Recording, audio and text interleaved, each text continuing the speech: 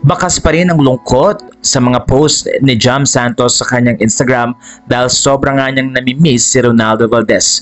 Matagal ang kanilang pinagsamahan bilang magkaibigan at bilang manager nga siya ni Ronaldo Valdez. Kaya naman nakita niya ang ups and downs at maraming mga facets ng buhay ni Ronaldo na hindi natin nakita. Buti na lang din ay binabahagi ni Jam ang ilan sa mga highlights, photos at videos na kung saan nga ay makikitang masaya ang nasabing aktor tuwing kasama ang kanyang manager. Naikwento na rin minsan ni Jam na kahit anong oras na tawagan siya ni Ronaldo ay nandun siya.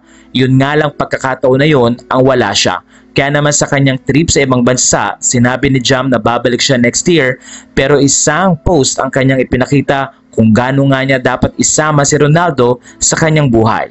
Ayon kay Jam, if you carry someone in your heart, you can take them with you anywhere you like. Take them with you. If someone you love did not make it on the trip, you can take it for them with them. If someone you love did not witness that milestone, you can show them anytime you like.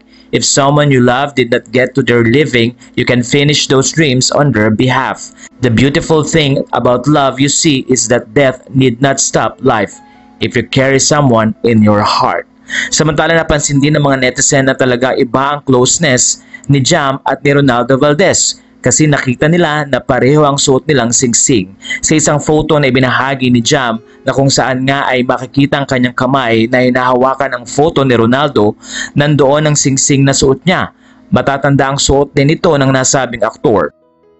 Sa post ni Ronaldo Valdez noong October 13 na ayon nga kay Ronaldo ay post-birthday dinner for si Swang Nieva at kasama nga doon ang kanyang mga favorite na tao. Sa nasabing photo ay makikita na yakap ni Ronaldo ang kanyang manager na si Jam at makikita nga rin doon ang singsing na suot, nakapareho ng suot na singsing ni Jam sa wake ni Ronaldo Valdez. Ayon sa mga netizen, napansin nila ito at tinatanong nila nga kung ano ang ibig sabihin ng nasabing singsing. Ilang mga netizen na nagsabing baka ito ang kanilang promise sa isa't isa na patuloy nilang susuportahan ng isa't isa at walang iwanan.